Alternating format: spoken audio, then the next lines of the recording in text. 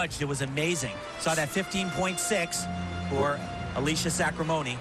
Now back to Nastia Liukin. Remember, she uh, had the highest score awarded to anyone on the uneven bars. Now we'll see if she can keep it going on the beam. Well, Alicia, 15-6, you know what this does for her routine? It's a beautiful setup because Nastia is capable of scoring in the low 16s.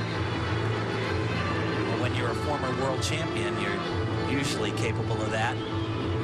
2005 the gold medalist on this event and has struggled with that but not there beautifully done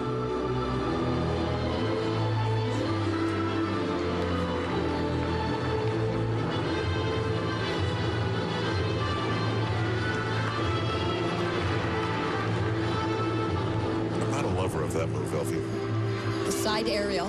Not one of our favorites because of the bent knees, but it surely is a popular move here. We're seeing it a lot in combination.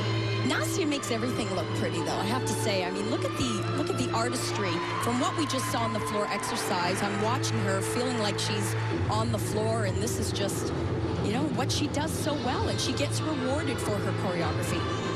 It really is remarkable. Just a few weeks ago, her and her father looked confused, like they just couldn't figure out what was going wrong, and it's just a matter of time, I guess, for them to get it right.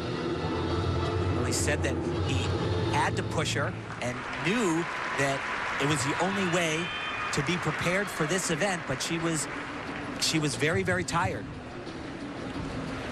Well, un unbelievable. That that is a gigantic, gigantic mistake. I was just going to say, this routine looked fabulous. Up until this dismount, it was better than the first day. What went wrong?